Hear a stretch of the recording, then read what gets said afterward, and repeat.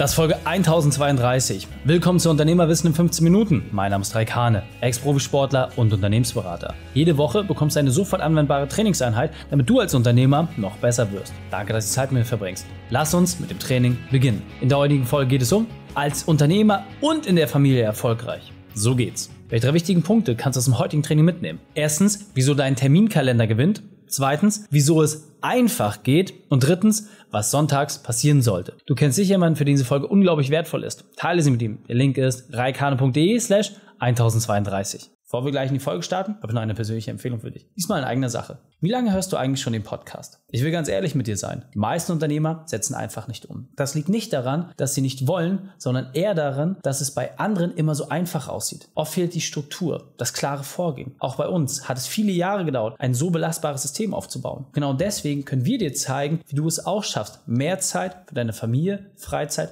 und Fitness zu haben. Da du schon lange den Podcast hörst, möchte ich dir ein Angebot machen. Lass uns doch einfach mal 15 Minuten locker über deine aktuelle Situation sprechen. Und dann schauen wir, wo du aktuell den größten Hebel hast. Wie klingt das für dich? Das Ganze ist natürlich kostenfrei. Und wenn du endlich einen Schritt weiter in Richtung Umsetzung machen willst, dann lass uns sprechen. Geh dazu auf reikane.de slash Austausch und buch dir deinen Termin. Da die Termine oft schnell vergriffen sind, empfehle ich dir, dass du deine Chance jetzt nutzt. Deswegen reikane.de slash Austausch. Buch dir deinen Termin und dann unterhalten wir uns. Hallo und schön, dass du wieder dabei bist. Familie und Beruf. Work-Life-Balance.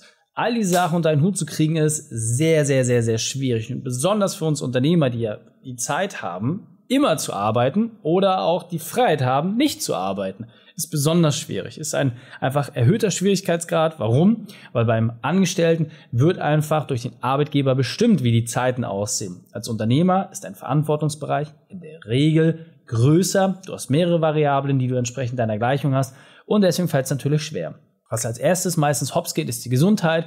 Danach folgt die Beziehung. Über Hobbys und solche Themen reden wir da schon gar nicht mehr. Und deswegen ist mir auch ein persönliches Anliegen, mit dir gemeinsam in diese Themen reinzugehen, weil ich habe es für mich selbst erleben müssen, dass ich meine Beziehung sehr, sehr vernachlässigt habe in vielen, vielen Bereichen und teilweise auch in Dingen einfach abgestumpft bin. Ja, also es gab wirklich eine Zeit in meinem Leben, da musste ich wieder lernen, wie es ist, unter Leuten zu sein, denen ich weder was verkaufen will, wo ich noch irgendwie ein anderes Interesse habe, wo ich einfach nur mal aufrichtig und ernsthaft zuhöre. Es hat natürlich auch den Freundeskreis entsprechend sehr, sehr klein gehalten und eingedämmt, aber dafür hat man dann mittlerweile auch wieder Freundschaften kultiviert, die sehr, sehr viel Bestand haben. Damit diese ganzen Fehler dir nicht auch passieren, möchte ich dir zum einen das Thema nochmal mitgeben, aber zum anderen natürlich dich auch vorbereiten, was es immer bedeutet, wenn du permanent deine Familie vernachlässigst. Weil seitdem ich selbst Vater bin von zwei Söhnen, ja, jetzt sieben und drei Jahre alt, habe ich einfach gemerkt, wie mit einem Fingerschnips die Zeit einfach rum ist. Und eine Sache dürfen wir bitte nie vergessen. Durchschnittlich ziehen unsere Kinder mit 18, 19 Jahren aus.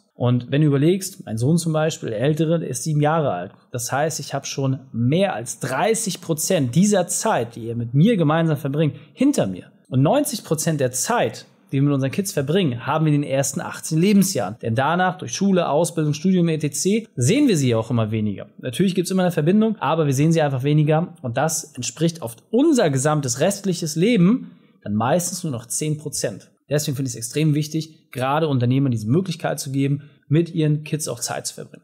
Also, lass es inhaltlich werden. Wie schaffst du es am besten? Was ich für mich persönlich gemacht habe, und ich gebe dir jetzt wirklich meine persönlichen Ansichten und Themen mit an die Hand. Du kannst für dich prüfen, ob das für dich stimmig ist, aber das ist wirklich das, was für mich sehr, sehr gut funktioniert. Das erste ist einfach, feste Zeitfenster einzuplanen. Bei mir zum Beispiel ist es so, dass ich sage, okay, ich habe ja meine 30-Stunden-Woche. Es gibt meine Zeiten, wo ich halt entsprechend ja mal etwas später zu Hause bin, weil ich Sport mache, mich mit Leuten treffe. Aber es gibt auch Zeiten, wo ich sehr, sehr präsent bin. Und dann zum Beispiel mittwochs, 15 Uhr, ist mein Daddy Day. Ja, das heißt, die Kids werden entsprechend abgeholt und wir machen irgendwas Cooles. Irgendeinen Ausflug, fahren irgendwo hin, schauen uns irgendwas an. Manchmal sitzen wir auch noch zu Hause und spielen oder lesen ein Buch. Vollkommen egal. Aber ich bin extrem präsent in dieser Zeit, ausschließlich für sie da und das auch bis zum späten Abend. Dieses feste Zeitfenster ist mir persönlich sehr wichtig. Warum? Weil ich dadurch einfach auch sehr viel Anteil im Leben habe und wir auch Dinge gestalten können. Jetzt fragt sich natürlich zurecht, hey, was ist mit Montag, Dienstag, Donnerstag und Freitag?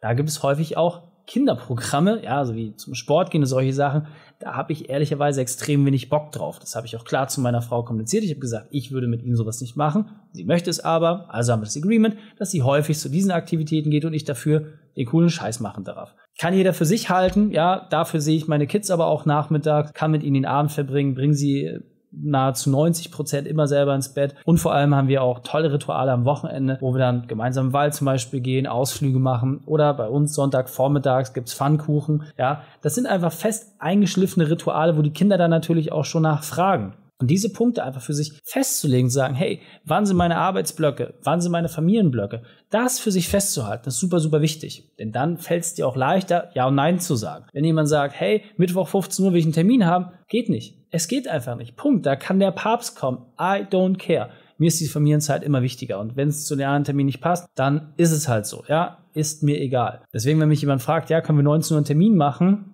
Also da, da brauchen wir wirklich schon eine Audienz, weil für mich ist das Familienzeit. Ja, wenn jemand sagt, ey, 17, 18 Uhr, lass mal telefonieren, bin ich nicht erreichbar. Warum? Bei mir ist deutlich früher Schluss und dann ist entsprechend Familienzeit angesagt. Kannst du entsprechend für dich deuten? Meine Empfehlung ist, sich einfach klare Richtlinien zu setzen, dann fällt es dir auch leichter, dich auch entsprechend an diese zu halten. Was ich auch für mich gelernt habe, wir haben ja lange, lange Zeit ausschließlich remote gearbeitet, jeder war bei sich im Homeoffice, dann kam Corona, dann haben wir uns ein Büro geholt und das war sehr, sehr interessant, was in dieser Zeit passiert ist, weil wir haben einfach gemerkt, dass es viel leichter fällt, sich selbst von der Arbeit abzugrenzen, wenn man auch entsprechend räumlich getrennt ist. Das heißt, überprüfe einfach mal für dich, wie viel Zeit verbringst du im Homeoffice. Ich persönlich bin mittlerweile absoluter Gegner der Homeoffice-Regelung. Nochmal, ich bin mittlerweile absoluter Gegner. Wenn du überlegst, dass wir in der Spitze noch vor einigen Jahren 40 Leute remote beschäftigt haben, dann ist das schon sehr interessant. Jetzt hat sich das dramatisch eingedämmt und mein Ziel ist bis zum Jahresende nicht eine einzige Kraft mehr zu haben, die für uns remote arbeitet. Warum? Erstens, weil ich das Modell, das wir fahren, volle Bezahlung und entsprechend voller Urlaubsanspruch bei einer ausschließlich 30-Stunden-Woche, das kriege ich remote einfach nicht so gut hin. Und ich finde es auch einfach schwierig, wenn du dich abends dann doch nochmal in den Laptop setzen kannst oder musst oder dann nochmal ein Meeting hast und all diese Themen. Ich will das einfach nicht mehr.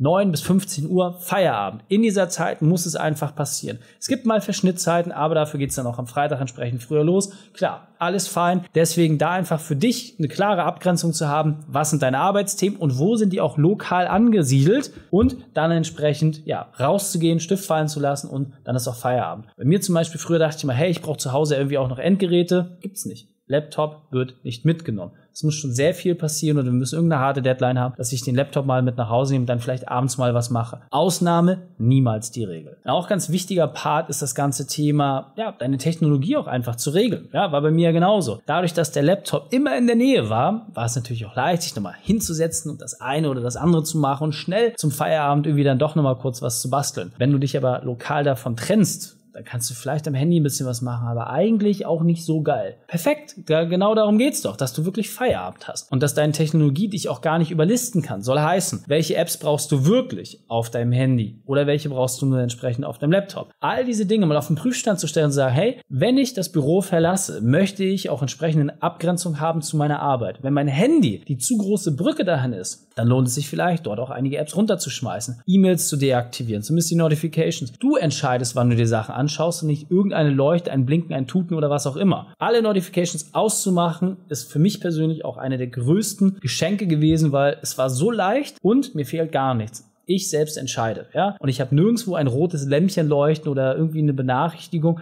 Gibt's auf meinem Telefon nicht. Das kannst du auf jedem Endgerät komplett ausstellen. Da reicht meistens ein, zwei Tastenklicks, damit das fertig ist. Und du gewinnst dadurch dramatisch viel Freiheit. Sei nicht Untergebener deiner Technologie, sondern andersrum. Regel das. Was auch sehr, sehr schön ist, sind einfach gemeinsame Familienrituale. Ich hatte es ja schon gesagt, ne, ob es jetzt der Mittwoch für uns zum Beispiel ist oder entsprechend der Sonntag. Was sind so die Rituale, die ihr auch regelmäßig macht? Bei uns zum Beispiel, ich beschäftige mich seit knapp einem Jahr mit dem ganzen Thema Bushcrafting, das heißt, ne, im Wald irgendwie so Sachen zu bauen und so. Ich finde das voll geil. Mir gibt das einfach voll viel Ruhe. Und jetzt habe ich natürlich meine Familie damit auch angesteckt. Wie bei fast allen Themen. Es gehen noch nicht alle Eisbaden, nicht alle Apnoe tauchen, aber sie gehen schon surfen.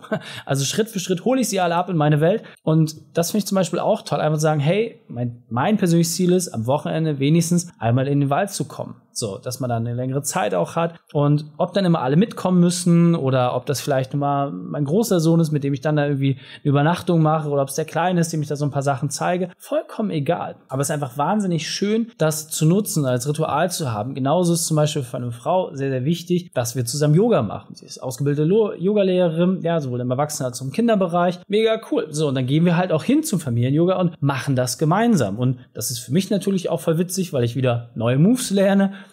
mit den Kindern macht Spaß. Einfach ein gemeinsames Ritual. Und diese gemeinsamen Rituale auch mal in den gemeinsamen Hobbys auszuleben. Wenn du jetzt irgendwie begnadeter Fallschirmspringer bist und du hast zwei kleine Kinder, ja, dann ist das vielleicht schwieriger. Aber die Faszination, wenn Papa oder Mama auf dem Flugplatz ist, ist ja vielleicht doch groß. Also einfach dort nicht sagen, schwarz oder weiß, was kann man gemeinsam machen? Wo kann man ein Ritual draus machen? Und auch zum Beispiel bei mir das Thema Angeln ist ja noch relativ frisch, ja, auch eher zum Ernährungszweck ehrlicherweise. Aber da die Kids einfach mal mitzunehmen und Papa kann ich helfen, so, das macht einfach voll Spaß. Und diese Rituale, sich aber auch zu schaffen, sagen, hey, das ist jetzt unser Ding. Das finde ich persönlich sehr, sehr wertvoll. Und meinem großen Sohn zum Beispiel, ja, ich habe dem jetzt Klimmzüge beigebracht, ich habe dem Liegestütze beigebracht. Und das ist jetzt unser Ding, ja, dass wir das halt steigern, weiterentwickeln. Und ich bin einfach super stolz drauf, wie kräftig dieser Siebenjährige schon ist. Alles Dinge, die Rituale zur Grundlage haben. Und ein letzter Punkt, und da möchte ich dir wirklich ganz, ganz doll ins Gewissen reden und dich auch nochmal so ein bisschen anpacken und vielleicht auch bei deiner Ehre triggern. Wie gut ist eigentlich deine Erreichbarkeit? Weil deine Arbeitskommunikation außerhalb deiner Arbeitszeit ist meistens genau der Punkt, warum viele Ehen scheitern, weil permanent immer noch diese Kommunikation irgendwie doch von dir abhängt. Kleiner Tipp, Abkürzung kommt zu uns, wir lösen das. Aber auf der anderen Seite sich auch mal wirklich zu fragen, naja, wie erreichbar muss ich denn wirklich sein? Deswegen haben wir zum Beispiel auch Mindset-Part bei uns. Ja, häufig sind es ja nur, naja, ohne mich kommen die nicht klar. Ist das wirklich so? Lass uns Prozesse und Strukturen bauen. All diese Dinge können auch ohne dich funktionieren. Mach dich nicht abhängig davon. Und reduziere einfach immer, immer weiter deine Erreichbarkeit, damit die Leute dich auch in Ruhe lassen. Und gerade bei größeren Teams, gerade auch in Situationen, wo es ja vielleicht im handwerklichen Umfeld nochmal eher zu Notsituationen kommt, als vielleicht in der Dienstleistung oder in der Beratung oder solchen Sachen. Es ist doch egal. Ja, morgen gibt es auch noch einen Tag und es gibt auch überall Notfallsysteme. Selbst bei Ärzten gibt es Notfallsysteme. Die Frage ist, wie wichtig ist dir deine Family? Und dort wirklich auch einen Abstrich zu machen und sagen, hey,